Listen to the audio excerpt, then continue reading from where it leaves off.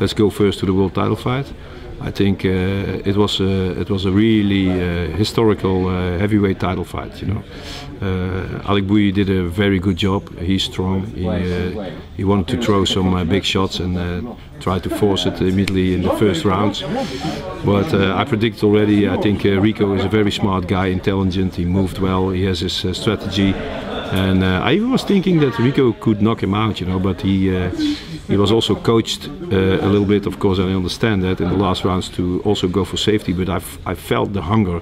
I felt the hunger from Rico's side to uh, finish it, you know, to finish it in the fourth or the fifth round. I'm very satisfied with this fight because uh, I think also for the audience and for the really kickbox fans, there was a great performance from two heavyweights really working hard over five rounds. So. I, I don't think that we're gonna make immediately another uh, title defense, you know, because he did uh, that already a couple of times. So what we are looking forward now is uh, to have a heavyweight contender again to decide uh, who is the new guy to uh, challenge him. So uh, I think the first thing what we have to do is prepare for a new heavyweight contender, and guys like Braddock Silva will be in. Maybe a guy like Ben Saddik, if he has another fight, comes up in the ranking again. He was out for one year uh, through circumstances, but he can climb in the ranking again, and then those guys will do a contender, and the contender winner will uh, challenge Rico again. So that's that's the next step. Not immediately a title defense in five rounds. We're first gonna do that contender. Yeah, well, well, the situation with Saki is that we still have to come to terms. If uh, if it is like that, he's still our light heavyweight champion. So uh, we are glad if he can defend his title. If we don't come to terms, yeah, then uh, we need to have a title defense or new title uh, or new uh, title holder within one year. So uh, Zach Mwekassa, I think he's uh, he is developing his skills, uh, and not his boxing skills, but his all-round kickboxing skills. And so we want to give him a couple of more fights, and then he will be automatically in the zone. Then he will be the the new challenger for the title. The first one who's gonna fight for the title, if it is with Saki or it is for the new title, is uh, anyway it will for 100% be Saulo Clay, Saulo uh, Cavalari, because he he win the contender tournament and uh, he has the right to be there.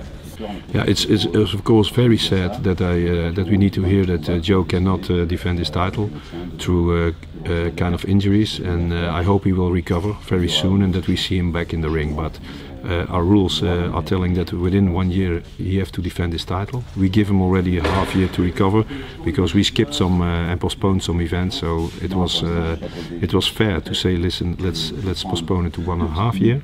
But now it's time. It's time also for Nieky Holzken. I know uh, he, he win the contender tournament. He's waiting to fight for the title, so he has the right. So we had a good uh, conversation with uh, with uh, Joe. He cannot be there to defend his title, so he agreed on that we make the title vacant uh, based on the rules, and then we have Nieky Holzken, of course, to fight for that vacant title. Then we needed to go to the rankings, and if I look at the rankings, then we have uh, number one, two, three. I think it's Karapet, Statsarenko, and Raymond Daniels over there. Uh, Nieky Holzken fought the final in a tournament with Raymond Daniels, a very close fight. Uh, it was a three rounder after the Daniels had some uh, uh, heavy uh, punches and kicks with uh, Oliveira. So now we're gonna see uh, a fresh Raymond Daniels, and that's also what he what he was talking about it himself. If I can be in a single uh, fight with Nieky Holzken fresh, it will be another uh, it will be another fight. Uh, also looking at the other two guys in the ranking, Nieky Holzken beat already Stetsarenko and Karapet. So I think uh, looking back at the last fight from Daniels and Holzken, and uh, he, within the rules, he can be there to be uh, to be the new uh, the new guy to fight for that title together with Nieky Holzken. And I think it's also a great fight for the fans. Uh, Daniels is a very dangerous guy with his spinning kicks coming out of. Uh, uh, angles that you cannot expect, so it's also dangerous for Nieky Holzken. And well, I think it, I think it's an interesting uh, fight. This one. Well, it was for me, uh, of course. I think the best, uh, the best fighter on this evening uh, have the right to win, and that was in this case Sitthichai. Uh, of course, I have a, a background and a history with Thailand, uh, especially with Ramon Dekkers. Uh, they are also fighting for the Ramon Dekker Trophy. I don't know if it came out of heaven, but at least it came out of the skills of Sitthichai. The Ramon Dekker Trophy went to uh, Sitthichai the management and Sitthichai, they they uh, really told me that they were very happy and that I cannot underestimate what this trophy means for them. You know, because Ramon Dekker was a hero uh, in Thailand.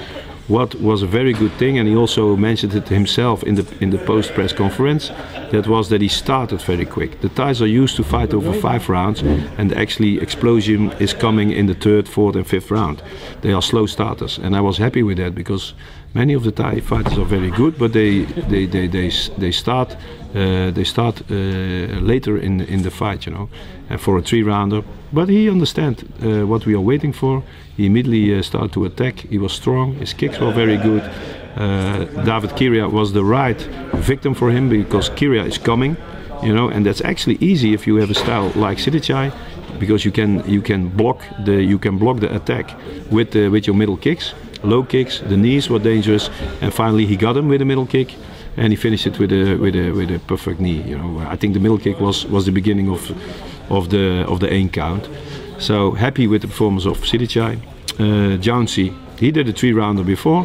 He did his best. A great, great, talented uh, full fighter. But uh, you know, three rounds fighting. Of course, he won this fight, but it it takes something away from you. Uh, as if it is a little bit a second of timing or whatever. Sitthichai was the best in the final, and uh, Josh did a great job. But uh, today it was uh, the day of Sitthichai, and uh, I think. I think him fighting for the title with Robin van can be a, a, little bit a similar fight uh, as what we saw with Kiria. So Robin has the time to study it, you know, because uh, uh, they are a little bit similar fighters, uh, Robin van Roosmalen and Kiria.